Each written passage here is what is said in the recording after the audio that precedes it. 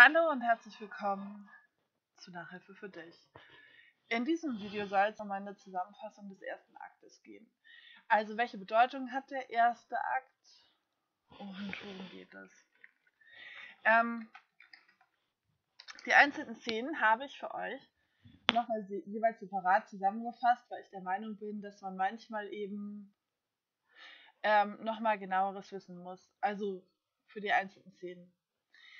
Also in, der, in dem ersten Akt, der erste Akt hat ja immer die Funktion des, der Exposition. Es gibt ja immer fünf Akte im klassischen Drama und der erste Akt hat so ein bisschen die Rolle, den Konflikt vorzustellen und soll auch dazu übergehen, ähm, die Personen vorzustellen, die Beziehung. Also im Teil 1 ist im ersten Akt ist es so, dass Hamlet ähm, der Prinz von Dänemark ist.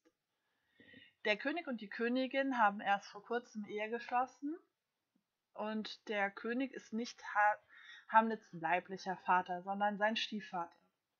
Der Bruder seines eigentlichen Vaters. So. Und auf der Bühne der Szenerie äh, tritt immer ein Geist auf, den wir bereits im ersten Akt, in der ersten Szene kennenlernen. Und dieser erscheint immer wieder und wieder. Hamlet ähm, gelingt es mit dem Geist zu sprechen. Dieses ist der Geist seines Vaters.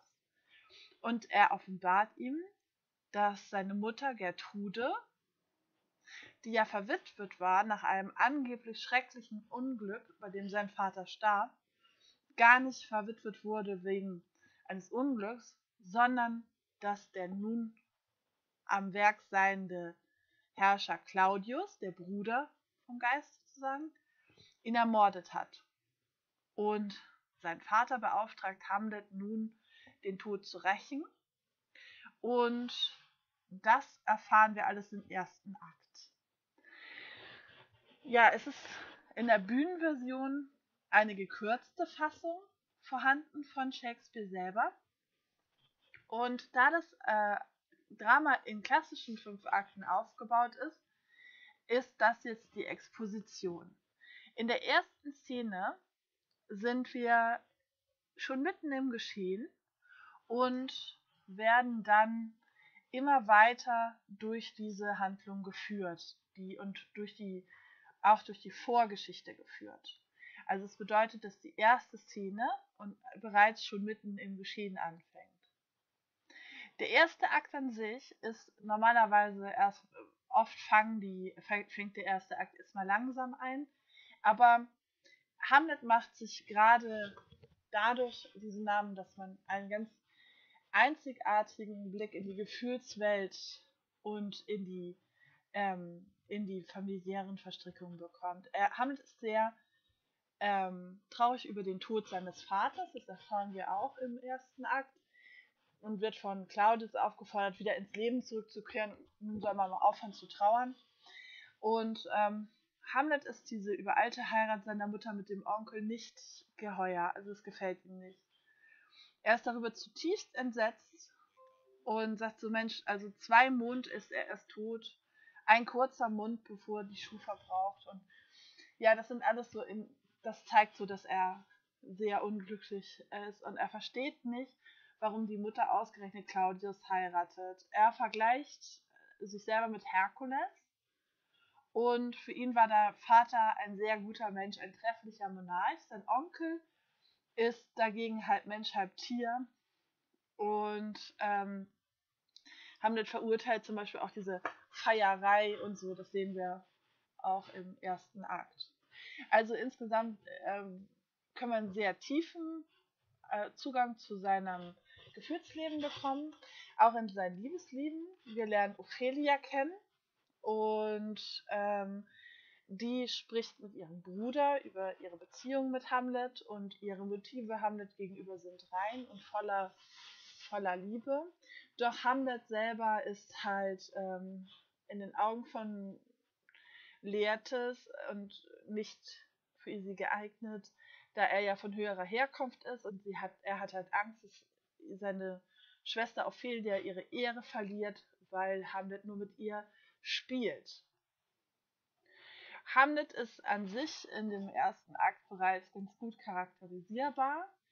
Ähm, dazu werde ich aber nochmal in einem eigenen Video eingehen. Ja, bereits im ersten Akt zeigen sich sehr deutlich die Konfliktfelder. Das ist einmal dieses Spannungsfeld zu, innerhalb der Familie.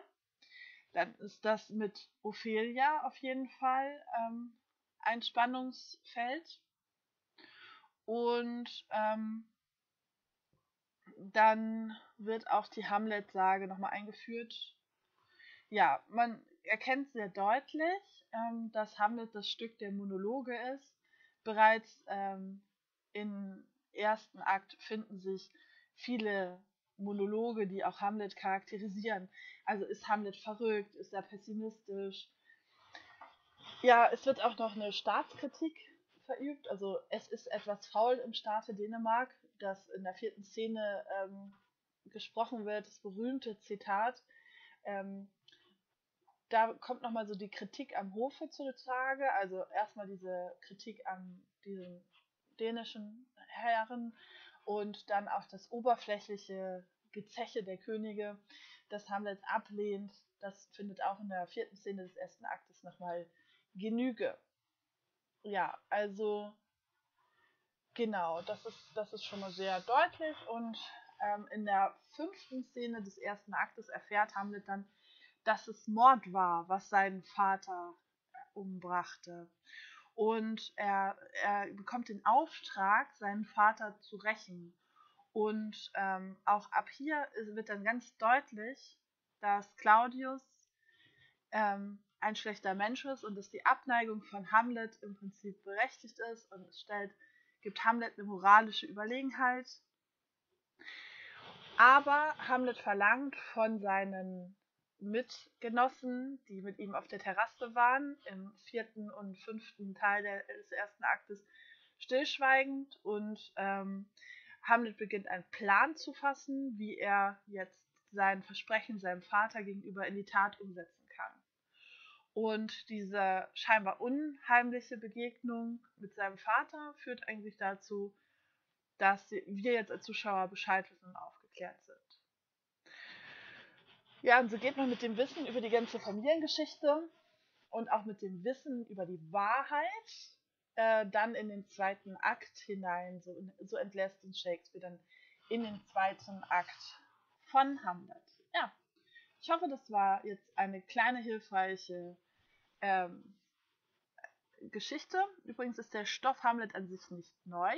Er stammt bereits aus dem Saxo Grammaticus von ähm, 1150 bis äh, 1220 und ist bereits da in Form der Hamlet-Sage erwähnt und ist auch von vielen anderen ähm, Autoren schon aufgegriffen worden. Also Shakespeare ist nicht der Erste, der das aufgreift, aber der bekannteste. ja, das war der erste Akt. Danke und bis bald.